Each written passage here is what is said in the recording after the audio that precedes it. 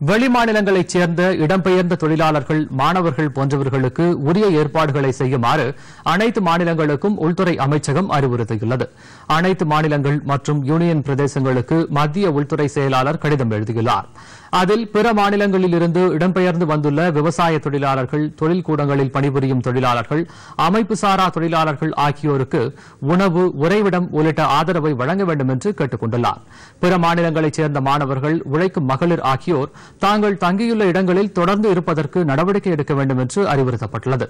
பாதிப்புக்கு உள்ளாக வாய்ப்புள்ள மக்களுக்கு பொது விநியோக திட்டத்தின் கீழ் இலவச உணவு தானியங்கள் இதர அத்தியாவசிய பொருட்களை வழங்க வேண்டும் என்றும் தங்கும் விடுதிகள் வாடகை உறைவிடங்கள் போன்றவை தொடர்ந்து இயங்குவதை உறுதி செய்து அத்தியாவசிய பொருட்கள் விநியோகத்தை முறைப்படுத்த வேண்டும் என்றும் கேட்டுக் கொள்ளப்பட்டுள்ளது ஊரடங்கை அனைத்து மாநிலங்களும் யூனியன் பிரதேசங்களும் தீவிரமாக செயல்படுத்துவதுடன் அதனை மீறுவோர் மீது சட்டப்படி கடும் நடவடிக்கை எடுக்க வேண்டும் என்றும் உள்துறை அமைச்சகம் அறிவுறுத்தியுள்ளது.